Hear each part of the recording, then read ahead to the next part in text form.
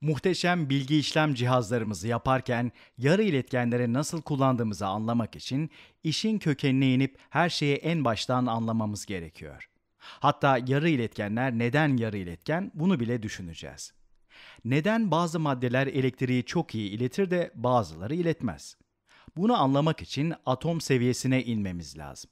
Bu konuda elbette bildiğimiz şeyler var ancak yeterli değil.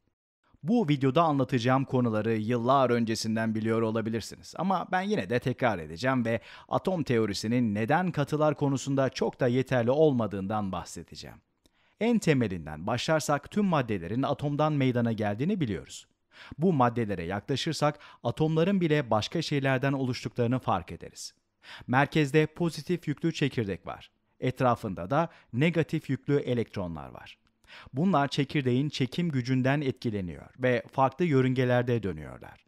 Tıpkı Güneş sisteminde gezegenlerin Güneş etrafında dönmeleri gibi. Ekrandaki model gerçek duruma çok da uymuyor. Birazdan sebebini söyleyeceğim ama şimdilik bunu baz alalım. Önemli olan şu. Bu gördüğünüz elektronlar çekirdeğe sıkı sıkıya bağlıdır. Bunlara bağlı elektronlar diyebiliriz. Bağlı elektronlar elektriğin iletilmesinden sorumlu değildir. Bir de çekirdeğe çok da yakın durmayan elektronlar var.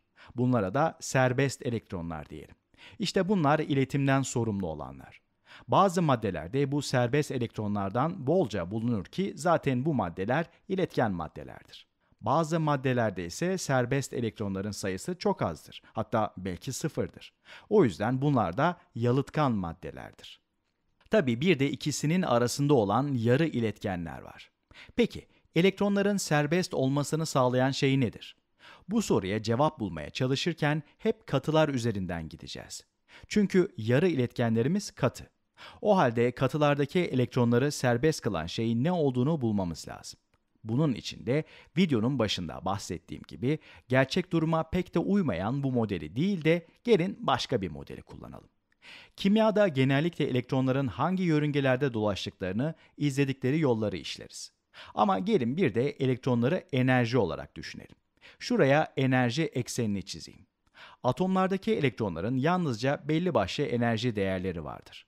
Buralara sayılar yazıp sizi nicel verilerle yormayacağım. Ama burası elbette en düşük enerji seviyesi. O yüzden en düşük enerjili elektronu şu çizgiyle göstermiş oldum. Bir sonraki elektron yani daha yüksek enerjili elektron buralarda bir yerlerde olabilir. Diğerleri de burada olsun. En düşük enerji seviyesine 1s diyoruz. Sonraki 2s, sonraki 2p, sonraki 3s, sonraki de 3p. Bu terimler size tanıdık gelmediyse kimya bölümümüzden enerji düzeyleri veya elektron dizilişleri diye aratarak ilgili videolarımızı izleyebilirsiniz. Evet, elektronlar bu enerji seviyelerine rastgele yerleşmiyorlar. İzledikleri belli başlı kurallar var. Buna Pauli dışlama ilkesi diyoruz. Bu ilkeye göre bir atomdaki iki elektron aynı anda aynı enerji seviyesinde bulunamaz. Tabi bunun detayları var. Yani Pauli ilkesi birebir bu söylediğimden biraz daha farklı ama temeli bu. Somut bir örneğe bakalım. Elimizde sodyum atomu olsun. 11 elektronu var. Bu elektronların enerji seviyeleri şunlar olabilir. Ve elektronlar bu seviyeleri doldururken dışlama ilkesine göre davranırlar. Ayrıca mümkün olan en düşük seviyeyi doldurmak isterler. O yüzden ilk elektron buraya yerleşir. Diğer elektron buraya geçemez. Çünkü Pauli ilkesi bunun mümkün olmadığını söylüyordu diye düşünüyor olabilirsiniz. Çünkü ikinci elektron buraya gelirse enerjisi diğeriyle aynı olur gibi geliyor. Ama aslında tam olarak öyle değil. Neden mi? Elektronların spin yönü yani kendi etrafında dönme yönleri aşağı ya da yukarı olabilir de ondan. Diyelim ki bir S'teki elektronumuz yukarı spin halinde. Bu durumda bir başka elektron aşağı spin halinde ise diğeriyle aynı enerji seviyesinde olabilir. Çünkü biri yukarı biri de aşağı spinli olduğu için aslında enerjileri birbirlerinden biraz farklıdır. Yani bunlar sonuç olarak Pauli ilkesine uyuyorlar. Çünkü spin yönleri farklı olduğu için aynı elektron sayılmıyorlar. Ama üçüncü bir elektron gelip de bir S'e yerleşemez. Neden mi? Yukarısı spinse şununla aynı olur. Aşağı spinse de bununla.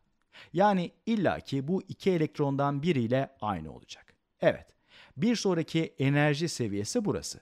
Ayrıca bu elektron her iki seviyenin arasında bir yerde de olamaz. Çünkü aradaki enerji seviyeleri elektronumuzun erişimine kapalı seviyeler. O zaman 2s diyoruz. Yukarı spin. Dördüncü elektron da aşağı spin olacak. Bir sonraki elektronumuz da burada. Yukarı spin. Diğeri de aşağı spin.